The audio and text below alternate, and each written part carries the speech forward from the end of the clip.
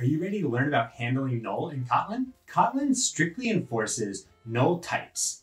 Now, for many developers, myself included, this is one of the best parts about the language. Handling null in Java has become quite the chore and leads to many, many of those annoying null pointer exceptions. By Kotlin strictly enforcing nullability on our arguments or our variables, this forces us as developers to think closely about our types and whether or not null actually makes sense, or maybe there's a better way to represent a lack of data. In this video, you'll learn about how to declare null and non-null types.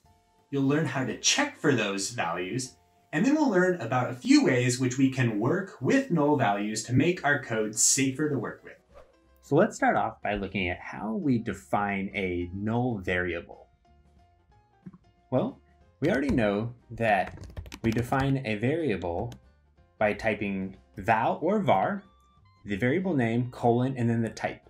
So if we wanted a non-null string, it might look something like this. However, if we wanted to change this value to be null, we see that we get this error. If we hover over, we see null cannot be a value of a non-null type string.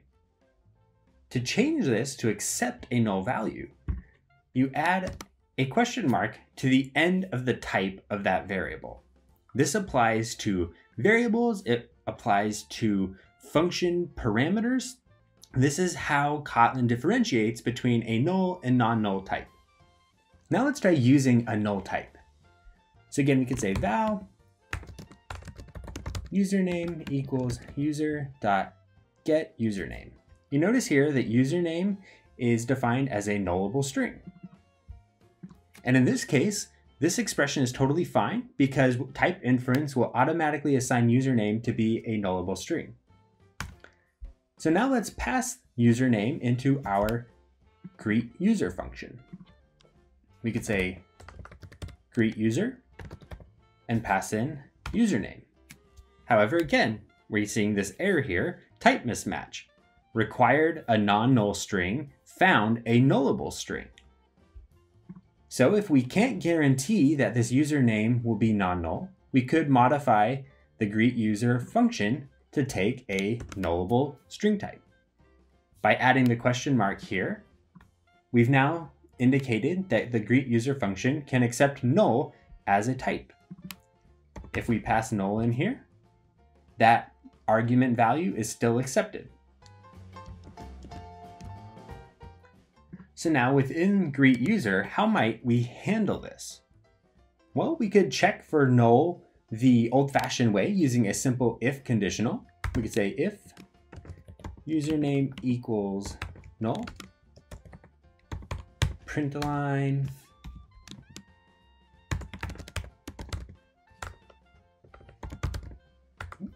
There we go. So now we've handled null in this way, and we could go on down here to print out the username if we have it. So this would be perfectly acceptable. So how else could we accomplish this? Well, we could create a local variable. We'll call it name to print. And we could assign the value based on this check. So we could say equals if username does not equal null, then we'll use the value of username, else no username. And then we can print out name to print. So this will first use the conditional to check for null, and if it's not null, it'll go ahead and use the value. However, we could also use something called the Elvis operator here. So we could say username, and then followed by the Elvis operator, which is question mark colon, and then no username. So this is essentially equivalent to that last conditional that we saw. We will try and assign the value of username first. But if the left-hand side of the Elvis operator evaluates to null, then we will substitute in the value on the right-hand side. So this is really convenient way of providing optional values here for a possibly null value. Maybe we only want to print out the username if it's not blank. So how might we handle that? Well, we could say username dot is empty to check, but notice we then get the little error line here that says only safe or non-null asserted calls are allowed on the nullable receiver. Basically what this is saying is you can't safely call the isEmpty function because username might be null. And then that would lead to all kinds of nasty errors. So what we can do here is what's called a safe call. We can precede the period with a question mark. What this does is say only call is empty if username is not null.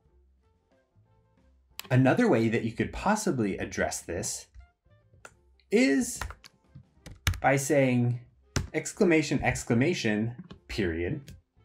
What this will do is again run is empty if it's not null, but throw an exception if it is null. So this is a much more drastic version of the last case we saw. This is a non-safe validation that username is non-null and should really only be used in very specific circumstances where you really can't recover and you want to know immediately if that value is not there. Now maybe you want to check that the value exists and then do multiple things. Well, you could use one of the scoping operators and call that only if the value is non-null. And then within here, we could print out that value.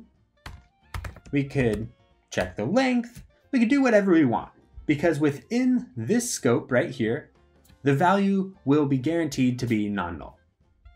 So you see there's really a number of ways of working with null in Kotlin.